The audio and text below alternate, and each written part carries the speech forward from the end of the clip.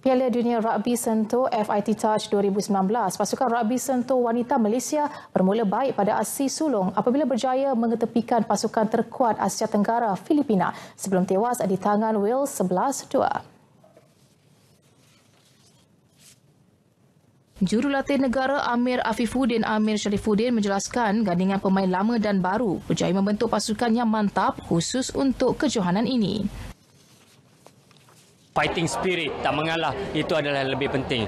Winning or losing is a part of game but uh, ini adalah uh, experience yang kita akan kumpul dan membentuk pasukan yang lebih matang dan sebagainya Tambah Afifuddin, pasukan baru dibentuk sejak enam bulan lalu sudah mampu menunjukkan kefahaman yang tinggi dalam perlawanan.